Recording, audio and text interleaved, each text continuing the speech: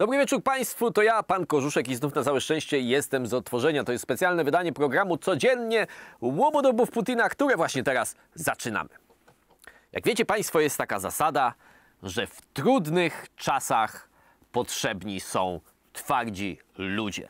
Proszę Państwa, i dlatego w Niemczech nastąpiła zmiana na stanowisku ministra obrony i rzeczywiście nowy minister o nazwisku Pistorius to nie jest ten, co biegał na tych szynach i potem niestety zabił swoją konkubinę. Konkubina tego Pistoriusa żyje, jest przypadkowo czwartą żoną Gerharda Schrödera. Doskonale nadaje się na to stanowisko, zobaczmy zresztą materiał. Kolejny rusofil w Berlinie. Skompromitowaną minister obrony Niemiec zastępuje przeciwnik sankcji na Rosję. Dziękuję za, za ten materiał. Tak napisał tygodnik e, wprost. I proszę Państwa, ciekawy jestem, jak wyglądało spotkanie, jak wybierany nowy był kandydat tam w tej, tam Scholz ma swoją siedzibę w kancelarii Rzeszy, czy jakkolwiek to się nazywa. Kanclerz Scholz wziął CV tego nowego kandydata na ministra, mówi tak, czyli tak, wzywał do zniesienia sankcji na Rosję. Mhm. Był członkiem grupy przyjaźni niemiecko-rosyjskiej w Bundestagu. No tak, tak. I jego partnerką jest czwarta żona Gerharda Schrödera? Tak.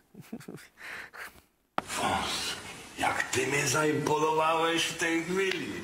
I Olaf Scholz mówi, no dobrze, skoro Szojgu mówi na pewno, że nie chce tej roboty, to Pistorius, proszę Państwa, też się nie da. Nada. Ale jeżeli jesteśmy przy niemieckim temacie, proszę Państwa, e, pan minister Mularczyk chciał sobie zażartować z tej słynnej opowieści Gerhard... e, Tfu, Olafa, Kurwa, Maciek, Malezja. Olafa Scholza, nie Gerharda Scholza, proszę Państwa, czasem można się pomylić, Gerhard, Olafa Scholza, Olafa Scholza em, o słynnym biegaczu. Zobaczmy, co napisał minister Mularczyk na swoim Twitterze.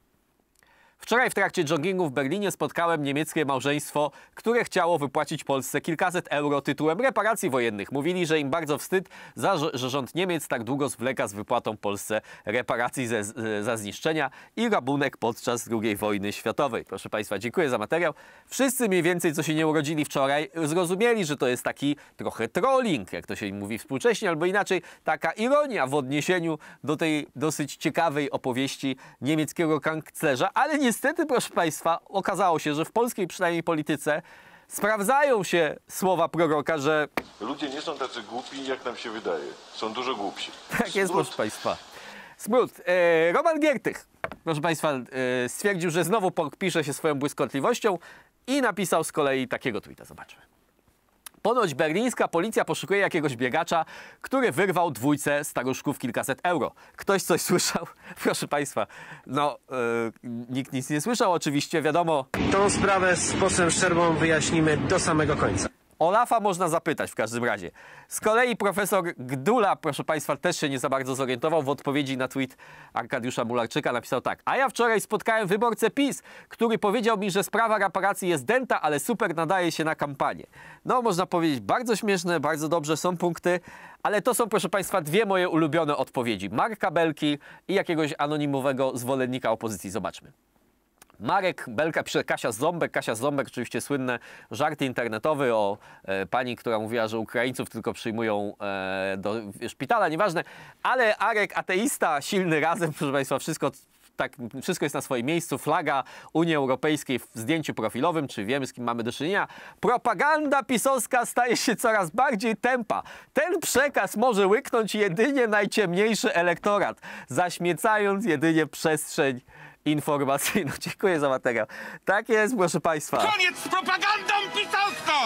Trochę to jest propaganda pisowska, co pan Olaf Scholz uprawia i to, co on mówi, to może łyknąć tylko najciemniejszy, proszę Państwa, elektorat. Proszę Państwa, dawno tego sampla nie było, ale trzeba, bo sensacja. Zobaczmy, co się wydarzyło chyba wczoraj. Zobaczmy. Ziobro, jako Solidarna Polska przygotowujemy się do samodzielnego startu w wyborach. Tak jest, dziękuję za ten materiał. Państwo to zobaczą i powiedzą, Matko Bosko, mówię, coś to, coś, co to się stanęło? co, co, co, co się stanęło, proszę Państwa. Natomiast zaskoczę Państwa, ale ja chyba znam wyjaśnienie, dlaczego tak ta decyzja została podjęta. E, I to będzie wyjaśnienie takie trochę tajemnicze, ale jednocześnie moim zdaniem bardzo przekonujące.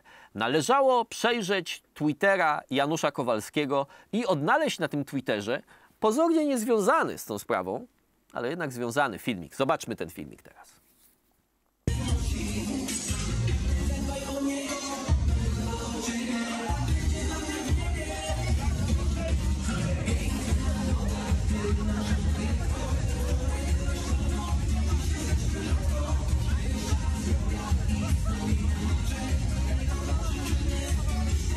Proszę Państwa. Oczywiście, bardzo dobrze. E, I Państwo zapytają, co Pan gada? Czy to ma jakiś związek? W żadnym wypadku. A komu to potrzebne? Komu to potrzebne? Właśnie. A dlaczego? Dlaczego? Ale ja Państwu już tłumaczę. To była tajna misja. Partia się zebrała, Zbigniew Ziobro otworzył ze zebranie, mówi panowie, koledzy moi partyjni, musimy zdecydować, czy idziemy sami do wyborów. Ale zanim to zrobimy, musimy poczekać na kolegę Kowalskiego, który w ostatnich dniach udał się w podróż po Polsce, żeby wyczuć nastroje wśród elektoratu. Drzwi się otwierają, nagle wchodzi poseł Janusz Kowalski zdyszany i mówi tak.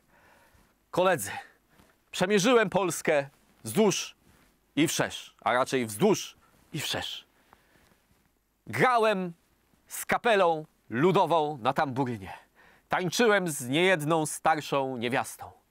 I mój wniosek jest prosty. I taka chwila pauzy nastąpiła pełna wyczekiwania. Janusz Kowalski mówi: Ludzie nas kochają. Idziemy sami do wyborów. Taki żarcik. Proszę Państwa, Państwo powiedzą, że ja się trochę szczepiam tej Solidarnej Polski, może ten. Państwo powiedzą, że ja to robię na jakieś polityczne zlecenie. Co byłoby, proszę Państwa, troszeczkę niesprawiedliwe, bo ja wszystko robię na polityczne zlecenie. Ale w każdym razie ja się nie czepiam, proszę Państwa, Solidarnej Polski. Tam jest wielu utalentowanych polityków. W pewnych sprawach merytorycznie mają rację. Być może mają nawet rację w sprawie e, polityki europejskiej. To się zresztą niebawem okaże. Ale muszę przyznać, proszę Państwa, że ta metoda uprawiania przez nich polityki jest już niezwykle dla mnie męcząca. Bo można by było kogoś na przykład, nie wiem, w 2016, 2017 roku zahibernować, on by się obudził teraz, prawda? I mówi, jak zasypiałem, to Solidarna Polska była o krok od opuszczenia Zjednoczonej Prawicy. I co? No i co? I mamy dwie informacje dla ciebie. Po pierwsze, spałeś 7 lat, po drugie, za bardzo nic cię nie ominęło. To jest tak, jak kiedyś chyba już nawet mówiłem o tym, mam taką sąsiadkę, co czasem od jakiegoś, od czasu do czasu, nie za często, ale lubi sobie wszcząć lekką awanturę. I wtedy krzyczy, koniec! Nie ma! I człowiek już wie, że jak ona krzyczy koniec, to jest dopiero początek. I jak krzyczy nie ma, to znaczy, że zaraz coś będzie, prawda? I tak samo jest trochę z Solidarną Polską. Oni mówią, panowie, wychodzimy stąd, nie ma już nas w tej koalicji, wychodzimy, idziemy, idziemy, już jesteśmy przy drzwiach, już chwytam klamkę. Liczę do trzech. Raz, dwa, słucham? A nie, nie do mnie. Dwa i pół? No, zresztą, proszę Państwa. I potem się odwraca Zbigniew Ziobro i mówi, jednak razem, razem, wygramy. Zresztą to się wydarzyło nawet tego samego dnia. Rano było, że są przygotowani na samodzielny start w wyborach, a po południu czy wieczorem w Polsat News było już, że po prostu no jest taka możliwość, byłaby taka możliwość, proszę Państwa, yy, bo na różne możliwości trzeba być gotowym. Zobaczmy. Nie ma na razie umowy między Solidarną Polską a Prawem i Sprawiedliwością, więc przygotowujemy się też do wariantu, który w polityce mm, zawsze y, trzeba brać jako pierwszy pod uwagę, czyli samodzielnego startu. Ale jesteśmy oczywiście gotowi do mm, koalicji. To nie znaczy za cenę rezygnacji z naszych mm, przekonań y, i y, wartości i tego, co myślimy o polityce europejskiej i zagrożeń ze strony Unii Europejskiej. My chcemy dyskusji. Znaczy nie chcemy, iść, po prostu byśmy chcieli, żeby była dyskusja, proszę Państwa. Także, no brawo. Nieważne. Proszę Państwa, Lech Wałęsa też y, ma to do siebie, że czasem mocno politycznie uderzy, zatrzęsie, proszę Państwa, polskim politycznym podwórkiem, ale potem trochę się z tego wycofuje. Zobaczmy, po głosowaniu w sprawie y, kodeksu wyborczego, czy może nowelizacji, no nieważne, jednym z tych dwóch głosowań, pisze w, związku z dzisiejszym głosowaniem posłów Platformy Obywatelskiej otwierającej drogę PiSowi do środków unijnych, mimo łamania konstytucji i zasad demokracji, postanowiłem wycofać swoje sympatyzowanie z PO. Jak widzą Państwo, można by dwo- dwojako, y, czy zależy gdzie jest przeci- prze- przecinek tam postawiony, mimo łamania konstytucji i zasad demokracji postanowiłem wycofać swoje e, e, poparcie dla PO. Ale potem, proszę Państwa, robi się jeszcze ciekawiej, bo w następnym wpisie Lech Wałęsa pisze tak. Żeby było jasne, Tuska popierałem i popieram. Tylko to, co głosi, nadaje się do realizacji po zwycięstwie nad PiS. E, do realizacji po zwycięstwie nad PiS. Takim postępowaniem nigdy nie zwycięży, tylko dojdzie do wojny domowej. Dopuściliśmy do władzy, mimo moich ostrzeżeń, taki niebezpieczny element. Dziękuję, dziękuję za tego. Proszę Państwa, trochę to jest zagmatwane, można powiedzieć.